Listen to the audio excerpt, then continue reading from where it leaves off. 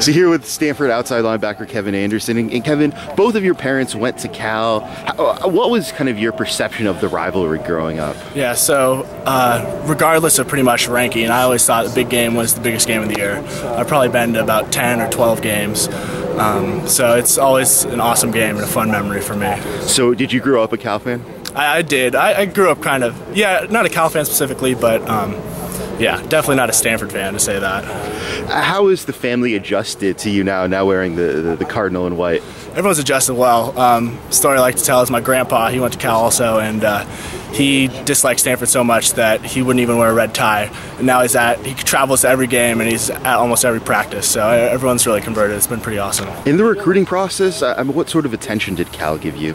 Um, a little bit. Uh, I was I committed fairly early to Stanford, so um, they didn't recruit me all that much. But in the beginning, they recruited me a little bit. So now moving on to your team now, how has the departure of Blake to the defensive line impacted you guys as an outside linebacker group?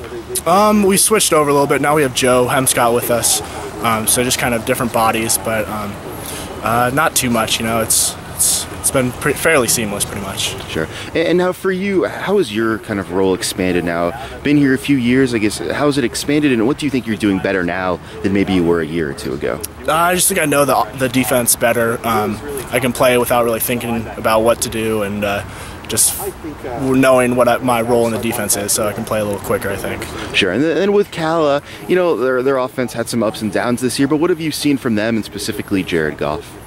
Uh, he's a good quarterback. He, for how young he is, he's a really good quarterback. He's uh, definitely very quick as well. Um, and, you know, regardless of the record, this is a rivalry game, so anything can happen. So we definitely have to bring our A game.